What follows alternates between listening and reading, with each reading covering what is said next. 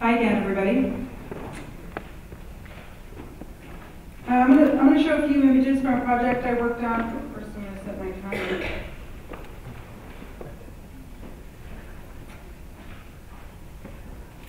I'm going to show a few images from a project that I worked on from about 2005 to 2010 to give you an idea of where I've come from, and then I'm going to talk about the project that I'm working on right now. So Arctic Listening Post is an interdisciplinary research-based collaborative exploration of the effects of climate change on our understanding and imagination of the North Pole and Arctic.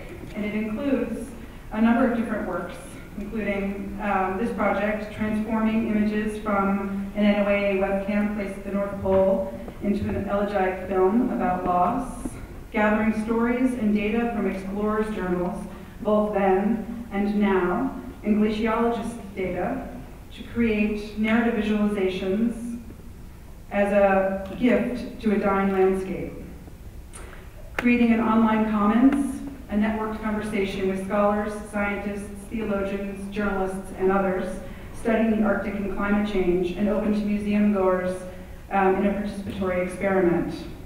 And imagining, with an architect, Mitchell Joachim, the future of the North Pole after a three meter sea level rise in the next century in a fantastical film about cities become nomadic ecotarian. So my current project looks at what's happening now in our backyards.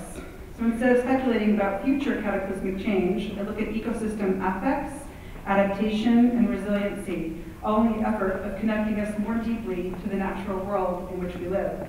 What better way to do this than looking at birds? Those longtime symbols of our higher selves full of freedom and possibility. There are over 81 million birders in our country, with an estimated economic impact of $2 billion. Who knew? Clearly, birds matter to us.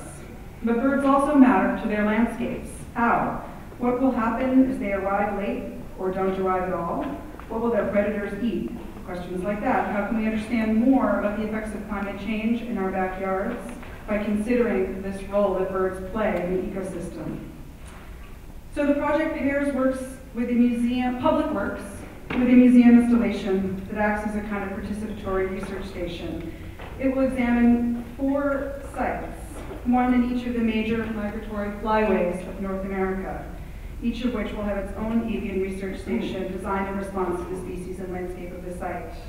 The public works consist of a series of flags, in this case, an early prototype, flags of shorebirds um, that ultimately will be in the Pacific coast um, in various states of near extinction, questionable extinction. It's a fine line. Uh, like this Eskimo curlew, or scarcity, like roseate tern, or a Leach's storm petrel. Um, the, what you're reading on those flags is the phonetic translation of the bird's calls, so you can sound those out to yourself. Right, we don't have time for that. Never mind. Um, and then they hang in habitats once populated um, by disappearing birds, like warehouses, backyards, and power stations.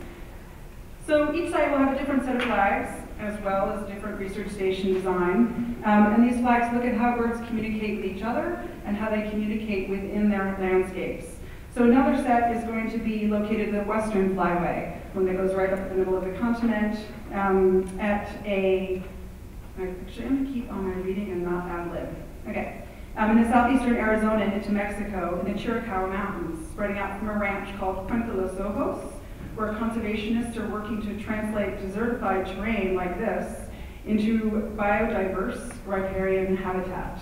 The flags at this site explore how desert grassland sparrows, such as the grasshopper sparrow, hide in habitats extremely stressed by ranching, invasives, and desertification caused by climate change. Intricately stitched handmade flags hang on cattle ranch fences, gas stations, and restored grasslands, and they create a kind of camouflage version of the markings of each sparrow's wing patterns. These sparrows are known as LBJs, or little brown jobs. It's really hard to tell them apart or find them at all. And so they have incredibly effective um, camouflage. On the Eastern Flyway, a bit closer to home, I've been birding at Great Meadows. Concord's a great place to do this work, with its long history of famous naturalists, these are samples from Thoreau, and the prevalence of local naturalists today, this is also Great Meadows.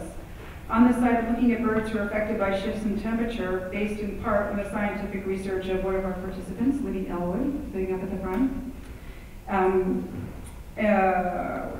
Uh, so, and I'm looking at birds like the yellow-rumped warbler, one of the most sensitive. It has the greatest variance in arrival time based on temperature change. So, um, and there's our friend, the yellow-rumped warbler. So explorations of the reasons and effects of these small changes in our ecosystem will take place in bird blinds. They become research stations, field research stations. And this reimagined bird blind is modeled after Thoreau's famous home. There it is, in both the frontispiece and in its plan, not from his time clearly. And the, the installation will be a platform for participatory research, drawing together scientists, local naturalists, historical data, online data, and field research trips. And it will unfold over the run of the exhibition and will engage the many habitats, both natural and man-made, that comprise Concord, even a nail salon. Inside this bird blind, one thing I'll work on is creating a Muir web visualization of the Concord ecosystem as a database backend for various artworks.